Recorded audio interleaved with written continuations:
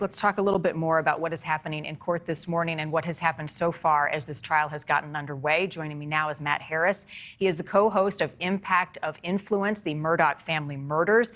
Also, Mark Reichel, legal analyst, to you both this morning. Thank you for being here. As the jury takes a break, I want you both uh, to weigh in as far as where things stand. And Matt, I'll start with you as you're watching the case unfold, both sides um, and their legal arguments.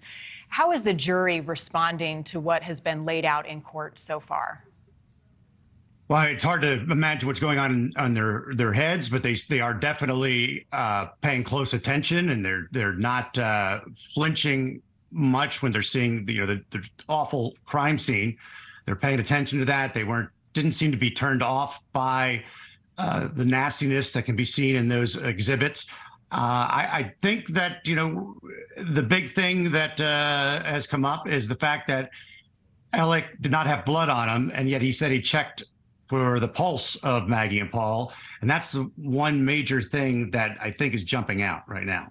Right. So, Mark, let's have you weigh in on that um, aspect of evidence because it is being disputed whether or not there was blood spatter on Alec Murdaugh's shirt the night of the crime. He was sweaty that night. There have been some reports that it could have been raining. It will really be interesting to hear from the forensic expert, the blood stain expert, Tom Bevel, who analyzed that shirt the night of and in the weeks afterwards. What stands out to you about that critical piece of potential evidence?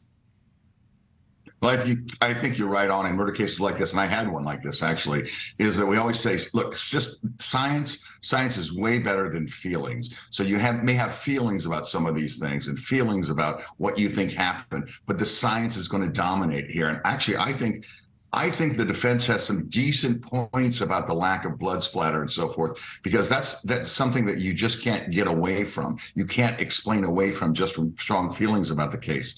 Additionally, if you talk about the, you know, whether he has the blood on him based on checking the pulse, you know, often that you, what I think they should be doing is bringing in first responders who come in and have to admit that they've checked pulses, they've come to crime scenes and not got any blood on themselves.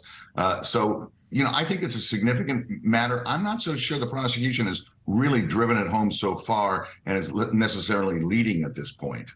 Well, and the other thing that came out on Friday was the release of some of the video. So 33 minutes of video, interviews that happened with Alec Murdaugh just moments after uh, he came up and found Maggie and Paul's bodies uh, at the dog kennels. It was really interesting to watch it. There were a few moments where he gets emotional. Much of the rest of the video, he's very calm as he answers investigators' questions.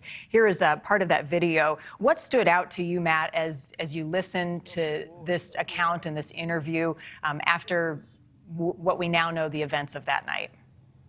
Um, I think there there would be some timeline issues where Alec was saying he was uh, didn't talk to Maggie for two hours prior to uh, him finding them at 10:06, and there is you know going to be this video released uh, that was 8:44, I believe. Yeah, 8:44 with Alec in that.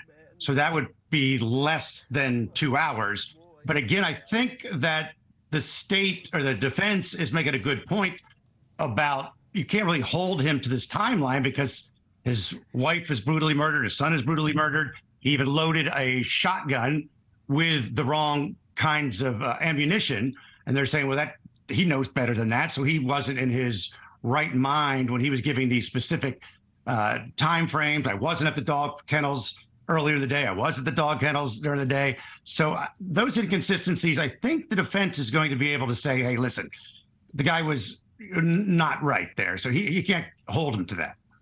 Well, and Mark, I'm interested in, in your analysis, it sounds as though the prosecution is going to make the case that there is a Snapchat video from the night of the murders that shows within minutes of the murders happening, Alec Murdaugh is there. There may be an audio recording of him. How damning is that for the defense potentially? If they set up the first proposition, which is the timing and his statement, and if his statement, if they can really prove that his statement that he was locked in on the timeline and then show that it's not true, they can, you know, they're going to make this, make you make the strong inference that it's lying. And if he's lying, why is he lying? Lying is consciousness of guilt. He knows is why. He's given a different timeline, different hour, and probably just for whatever reason didn't realize the Snapchat was going to do him in. Maybe didn't think he was going to make the statement later on that would be contradicted. But if they can, if they can, you know, line all that up and, and tie it up really well, I think it's a really powerful evidence for the prosecution. Thank you for watching. Go to newsnationnow.com to find News Nation on your television provider. And don't forget to click the red subscribe button below to get more of News Nation's fact driven, unbiased coverage.